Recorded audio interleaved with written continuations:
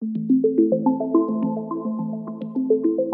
A tan solo tres días de que dé inicio el tradicional carnaval de Tepoztlán, las diversas comparsas de los barrios de este pueblo mágico advirtieron a la autoridad municipal que de no cumplir con la planificación y las diferentes demandas que se le han señalado, el carnaval se podría volver a cancelar. Si vemos que la situación nos rebasa, estamos dispuestos a cancelar el carnaval de nueva cuenta porque el año pasado hubo población local que fue agredida, expresó uno de los integrantes de la mayordomía del barrio de Santo Domingo. Asimismo, explicó que parte de las demandas que le han solicitado al presidente municipal, David de Mesa Barragán, ha sido la prohibición del acceso de los tours y excursiones, disminución de la venta de alcohol, retenes en las entradas y salidas del pueblo para que fluya el tránsito y en dado caso de que el pueblo se llene de visitantes, se prohíbe el acceso a Tepoztlán. Se le solicitó a la autoridad municipal que hiciera una rueda de prensa donde el ayuntamiento de Tepoztlán mencione que no se dejarán entrar a los tours operadores estas promociones que ofrecen viajes al carnaval de Tepoztlán. Se le dijo que solo bajo ciertas restricciones se le iba a permitir entrar, explicó el entrevistado. Además, si la autoridad municipal no logra mitigar estas problemáticas, los pobladores expresaron que tienen una estrategia alterna, donde entre los mismos habitantes realizarán protocolos de seguridad y posiblemente nieguen el acceso en diferentes áreas del pueblo a los visitantes.